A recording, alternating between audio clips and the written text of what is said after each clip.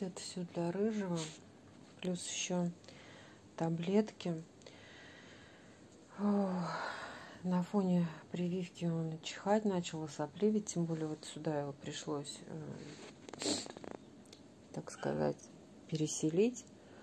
Вот, но иммунитет, конечно, у него подослаб.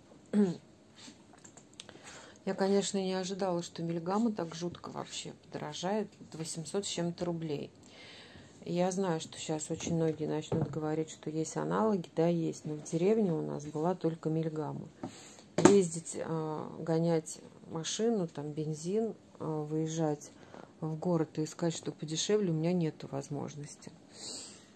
Нужно вести на рентген, пока тоже из-за своих домашних проблем не смогла пока еще выехать. Может, завтра, послезавтра получится.